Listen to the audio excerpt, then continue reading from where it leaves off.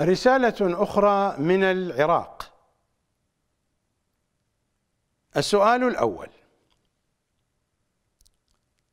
إذا كان المال الحلال مخلوطا بالمال الحرام كيف يمكن أن نجعل هذا المال من المال الحلال؟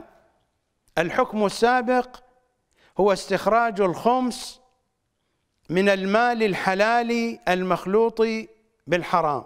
الخمس مباح. ما هي الطريقة الشرعية لجعل المال حلالا؟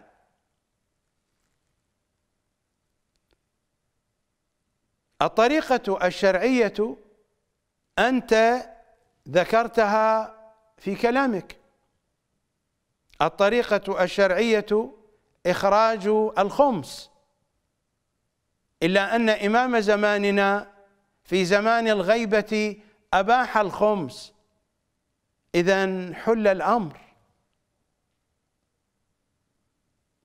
إذا كنت تخرج الخمس فيما لو كان الخمس واجبا عليك هذه النية تحلل هذا المال لأن الإمام هو الذي أباح الخمس. أنت تريد أن تخرج شيئا من المال كي تنفقه في عمل الخير هذا أمر راجع إليك لكنه ليس واجبا ولا يجوز لك أن تعد ذلك تشريعا. الله سبحانه وتعالى يريد من عباده أن يعملوا بعزائمه الواجبات وأن يعملوا برخصه. وعزائم صاحب الأمر هي عزائم الله. ورخص صاحب الأمر هي رخص الله. إمام زماننا يريد منا أن نعمل بعزائمه وأن نعمل برخصه. إمام زماننا هو الذي قال لنا في توقيع إسحاق بن يعقوب وأما الخمس فقد أبيح لشيعتنا وجعلوا منه في حل إلى وقت ظهور أمرنا.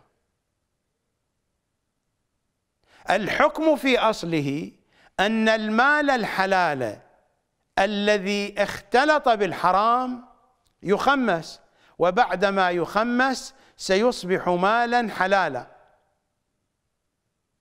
في زمان الغيبة أباح إمامنا الخمس لنا فحينئذ لا يوجد شيء آخر.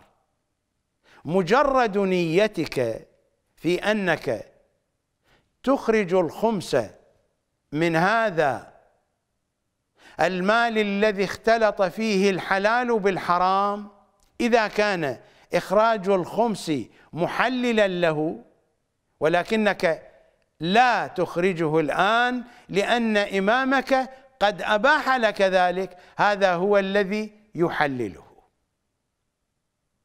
وأعتقد أن الكلام واضح وواضح جداً.